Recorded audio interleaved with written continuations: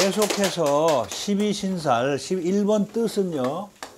지지와 지지가 만났을 때 생기는 일이야. 그러니까 천간이 천간이 천간끼리도 만나고 지지가 지지끼리도 만나고 천간이 지지 만나고 이렇게 만나 지지가 천간 만나잖아요.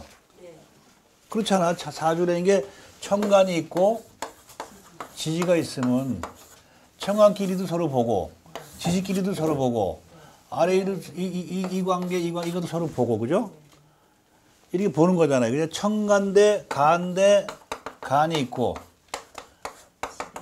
지대지 미사일이 있고 간대 지가 있고 지대 간이 있고 이렇게 이, 이 전부 전부겠죠. 전부 경우에서는 네 개밖에 없어. 그렇잖아요. 얘를 중심으로 가 봤을 때 얘를 천간의 관계를 볼 수 있잖아. 그 다음에 간대 지의 관계를 볼 수 있잖아요. 그죠? 간의 입장에서는 간은 간과 간, 간과 지잖아. 지의 입장은 지끼리 보고 지와 간의 관계를 볼 수 있잖아요. 그 관계를 근데 12신사는 지지끼리의 관계다 이 말이에요. 지지끼리 관계. 예? 지지와 지지의 관계.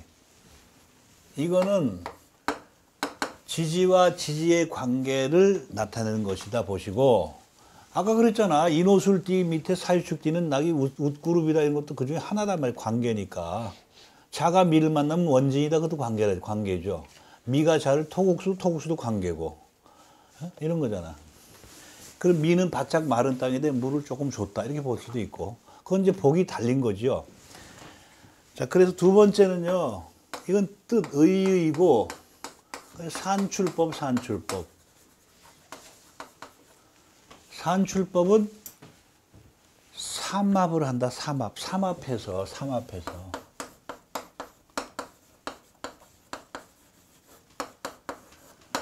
누구도 이 사주가 지지가 네 개죠. 연지를 삼합해서 풀든가 월지를 삼합해서 풀든가 일지 시지 다 해도 돼. 근데 그 중에서 연지가 가장 비중이 좀 높다고 생각하시면 돼요. 연지가. 왜냐면 연지가 하늘에서 주어진 명령이기 때문에. 근데 지금은요, 일지도 중요합니다. 개인 위주의 시대이기 때문에. 그래서 삼합에서 삼합의 첫 글자, 삼합의 첫 글자.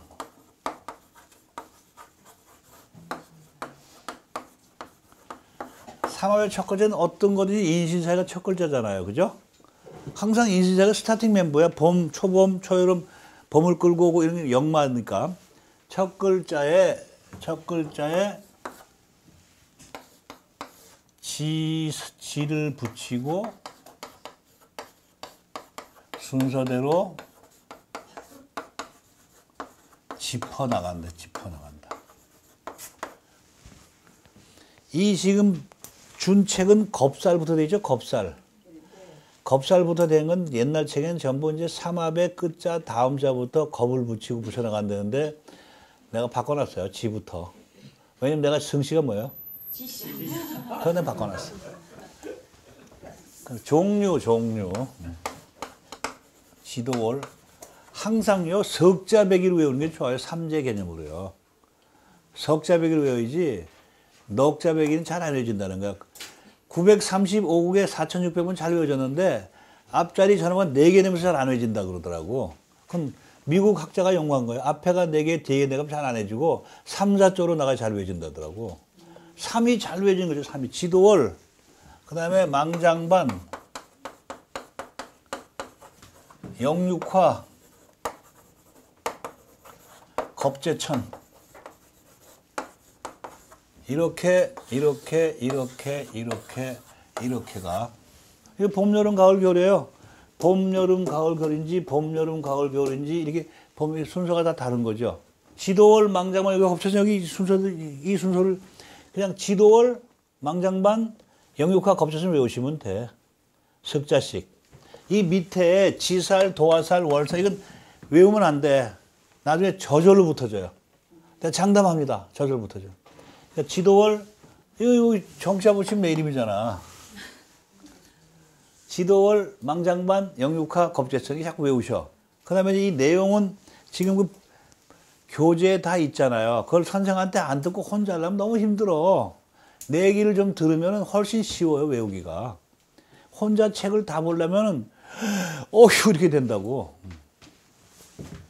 여기는 전부 인신사의 좌오묘유 진술충미 인신사의 좌오 다이 이 순서에 이, 이 이게 이제 규, 그 규칙 규정이야 규정 항상 순서는 그렇게 돼 있어요. 석자별이는 앞에는 인신사의 가운데는 좌오묘유 도화살인데 좌오묘유가 아니고 딴 게라면 틀렸죠.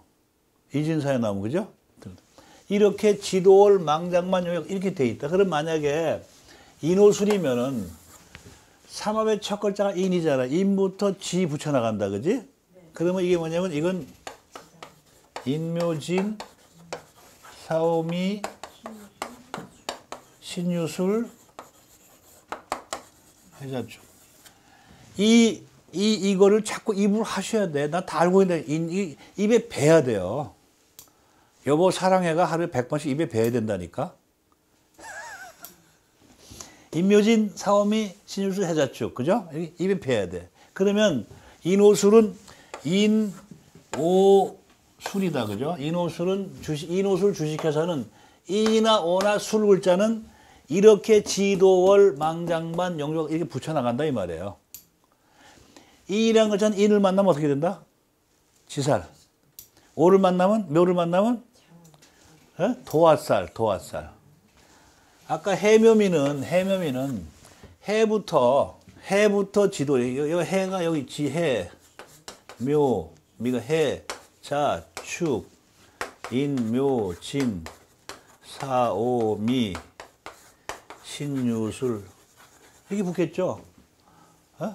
해부터 지를 붙이니까 삼합의 첫 글자가 이거 항상 보면요 앞에 거는 다 지살로 떨어지고 가운데는 장성 떨어지고 끝에는 화계로 딱 떨어지게 돼 있어. 아주 지장화 하면 세 개 그냥 공짜로 외운 거야. 그러면 여기 아까 양띠가 있었는데 해묘미는 해묘미는 자가 뭐예요? 자가 자가 도화살이죠. 해묘미는 그렇잖아. 지도 도화잖아. 해가 해 해묘미 해나 묘나 미가 자를 보면 도화가 된다 이 말이죠. 도화. 그러면 이 자를 보면 자가 뭐냐면 자가 이뻐 보이고 그죠? 도화 도화 자도하다 자도화 밤도하다 밤도화 어? 자가 밤이잖아. 밤도화. 이, 이 이놈은 이놈은 항상 이거는 순서가 인묘진 항상 연도도 이렇게 가고 월도 가고 계속 이 순서도 지구는 끊임없이 가고 있어요. 금년이 경자년이다 경자년.